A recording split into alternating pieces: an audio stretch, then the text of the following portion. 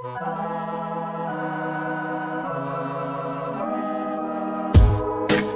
she was 22, the future looked bright. But she's nearly 30 now, and she's out every night. I see that look in her face, she's got that look in her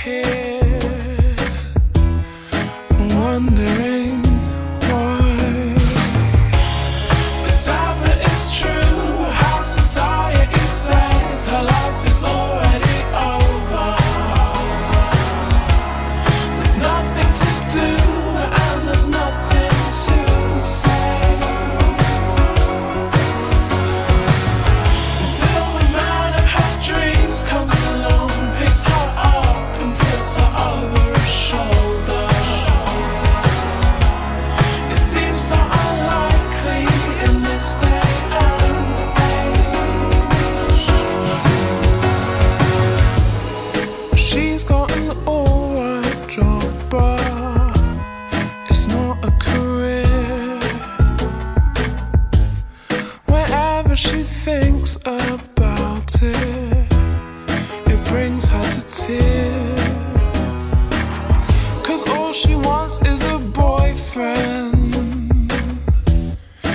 Gets one night stands.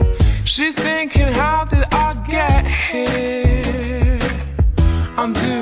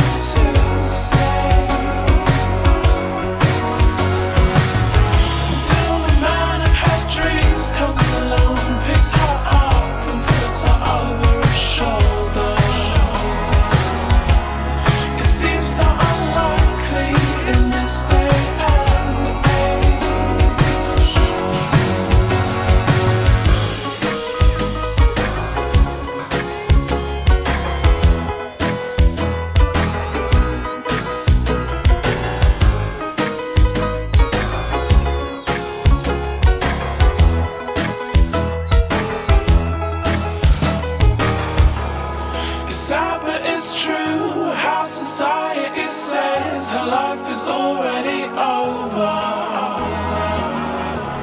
There's nothing to do and there's nothing to say.